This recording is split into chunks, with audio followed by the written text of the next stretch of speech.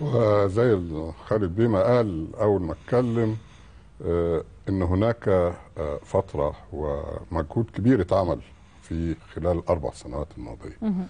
إحنا لما نزلنا الثلاث أيام اللي فاتوا للانتخابات آه، كان الشعار بتاعنا وجمعية رجال الأعمال بالذات نزلت بيانين مهمين في هذا الموضوع. الشعار بتاعنا إن إحنا نازلين من أجل الاستمرارية.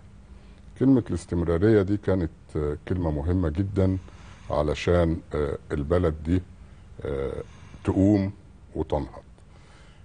مفيش شك أنا مش هدي صورة وردية إحنا ما زلنا عندنا مشاكل في- أكيد. يعني خضم المعركة. وابتدينا خطوات إصلاحية. حضرتك دلوقتي وصفتها بمعركة. آه طبعا. تمام.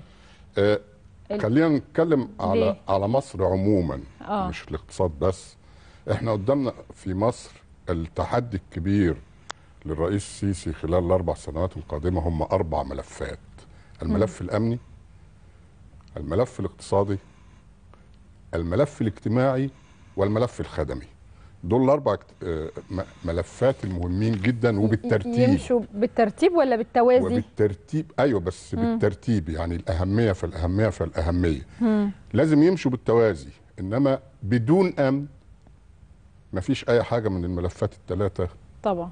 آه، آه، هيتحقق. إحنا شفنا مصر بتنهار امنيا امنيا في الفترة الماضية. طبعا.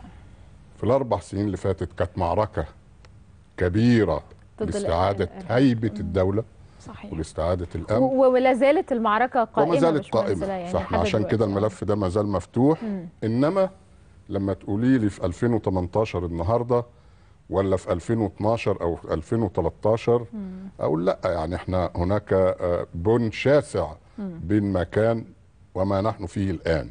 تمام. فالملف الأمني ده من أهم الملفات اللي يجب إنها تسير بالتوازي مع باقي الملفات الثلاثه الأخرى. تمام. نخش على الملف الاقتصادي.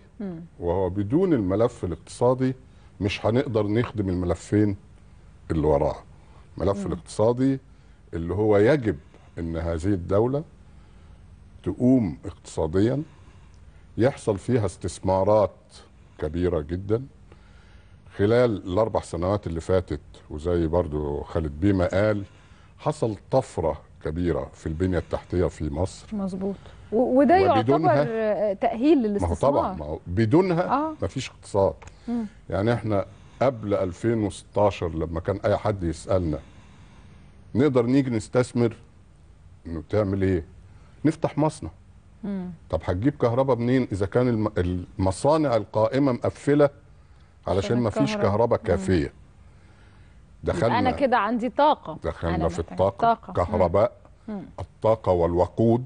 ودي كان حتة تانية. الطرق.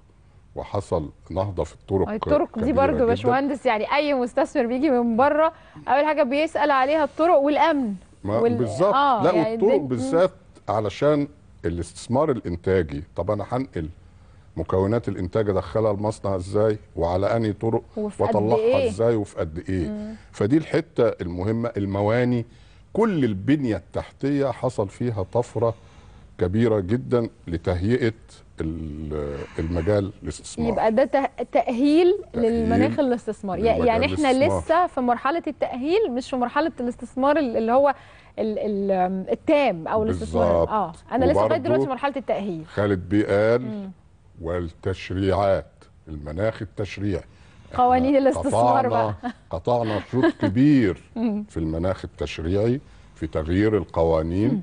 ودي حتة مهمة جدا. وبعديها ما زال هناك قوانين أخرى محتاجة استكمالا للمناخ التشريعي في الاقتصاد زي قانون العمل التأمينات الاجتماعية إتش- آه، عدة قوانين أخرى ت- تدخلنا لهذا المجال. تمام. لما نبتدي المجال الاقتصادي يقوم هنقدر نتكلم بعد كده عن ملف الخدمات آه، آه، وملف الخدمات وال بحيث إن هندي خدمات إزاي والملف الاجتماعي. إزاي هحمي الطبقات الأكثر فقرا والفقيرة؟ حماية اجتماعية. حماية اجتماعية. بدون ما الاقتصاد يقوم مش هقدر أعمل أي حاجة. مش هقدر أعمل أي حاجة. وبدون ما يكون في وضع أمني آه، مظبوط يعني مفيش اقتصاد. يبقى ما فيش اقتصاد يبقى ما فيش فهي. بالترتيب. هي آه هي بالترتيب وأيضا آه تمشي بقى بالتوازي. بالش- الشغل بالتوازي. الترتيب والتوازي. طيب.